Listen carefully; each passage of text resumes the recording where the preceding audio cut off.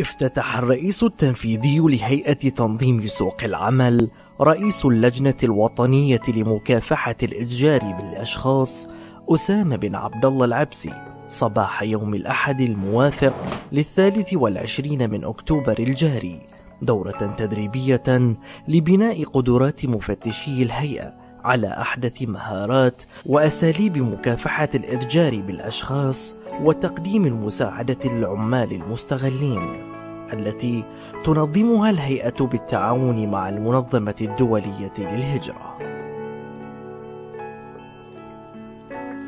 وتحدث الرئيس التنفيذي خلال الدورة التي تستمر حتى الأربعاء عن دور قطاع التفتيش والمهام والمسؤوليات التي تقع على عاتق هذا القطاع للحفاظ على سلامة السوق المحلية وضبط أي مخالفات من شأنها تشويه ديناميكية الاقتصاد الوطني والتأثير سلبا على القدرات التنافسية للقطاع التجاري.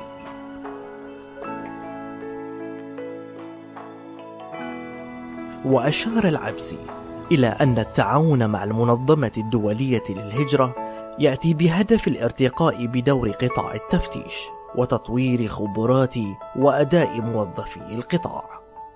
مثنيا على الجهود التي تبذلها المنظمة في هذا المجال.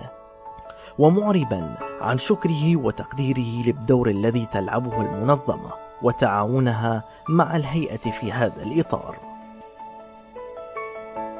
وتركز الدورة التدريبية لموظفي الهيئة التي يشارك فيها نحو سبعين موظفا من قطاعات التفتيش على بناء قدرات مفتشي الهيئة. من أجل مكافحة الإتجار بالأشخاص وتقديم المساعدة للعمال المستغلين. كما تعمل على تكوين المعرفة والمهارات والأدوات اللازمة للمفتشين لتحديد حالات الإتجار بالبشر.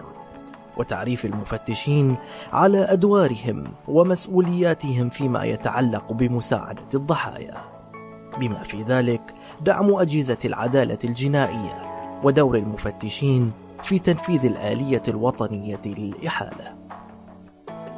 يشار إلى أن الهيئة اتفقت قبل نحو عام مع المنظمة الدولية للهجرة على وضع خطة عمل للتعاون الفني مع المنظمة في مجال التدريب لرفع مستوى الكفاءات وقدرات الكوادر الوطنية في مختلف أجهزة الدولة ودعم إنشاء مركز وطني متخصص في مجال تنسيق الجهود الوطنية في مكافحة الإتجار بالأشخاص.